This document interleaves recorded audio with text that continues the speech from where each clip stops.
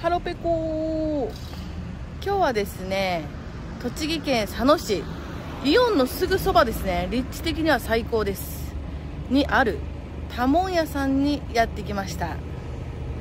今日はそばだぞ行ってみよう。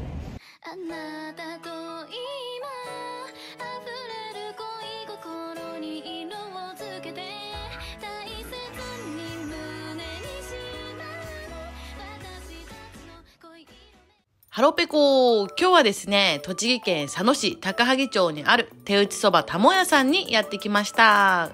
外観がおしゃれで蕎麦屋さんとは気づきませんでした。左に行くと蕎麦屋さん、右はジュエリーショップだそうです。それでは左側へお邪魔します。店内はテーブル席と小上がり席があります。それではメニューを見ていきましょう。大根そば、佐野の郷土料理ですね。それ以外にもおろしのそば。こちらはお昼のおすすめのセットです。ご飯系にうどんそばがつけられます。こちらがグランドのメニューですね。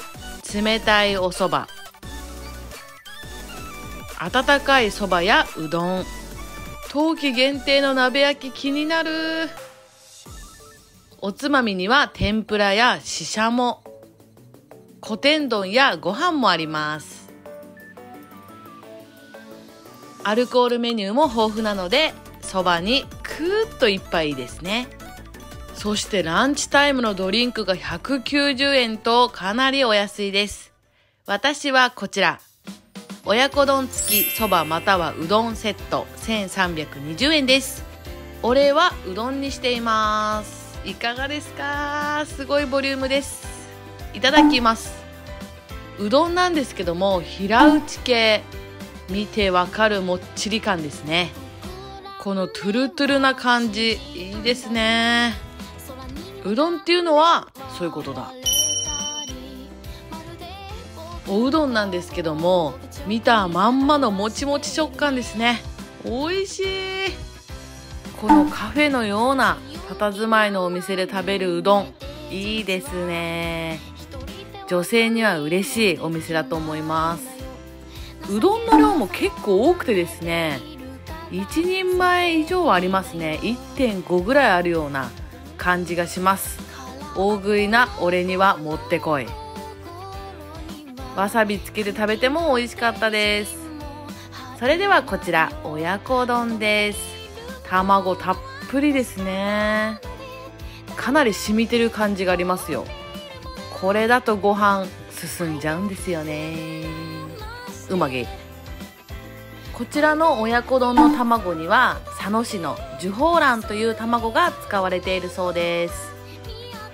うまーい。やっぱり思った通りしみしみです。鶏の食感もとってもいいですね。玉ねぎもしなしな。いや、この親子丼は美味しいなそばにめちゃくちゃ合います。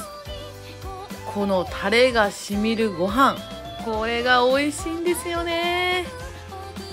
相方はこちら。天ぷら付き大根そば1700円です。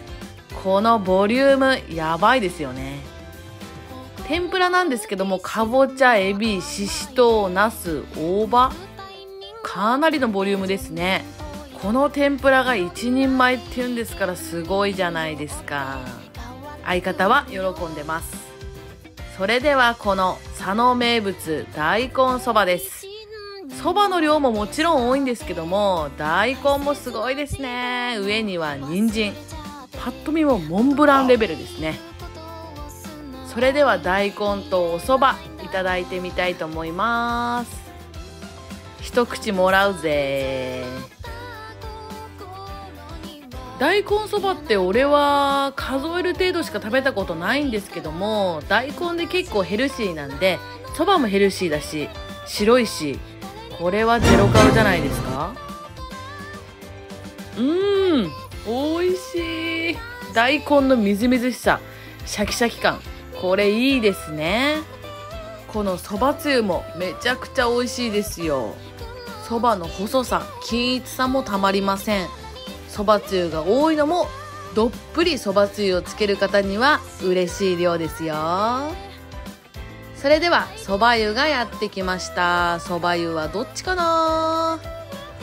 サラサラ系ですね。そばの後にそば湯を飲まなきゃそばの時間は終わりません。すべてごちそうさまでした。私栃木県群馬県で飲食店の紹介をしている MO チャンネルです。本日の多聞屋さんそばうどん天ぷら親子丼すべての量が多くお腹いっぱい食べたい方はぜひ来てみてください。本日はごちそうさまでした。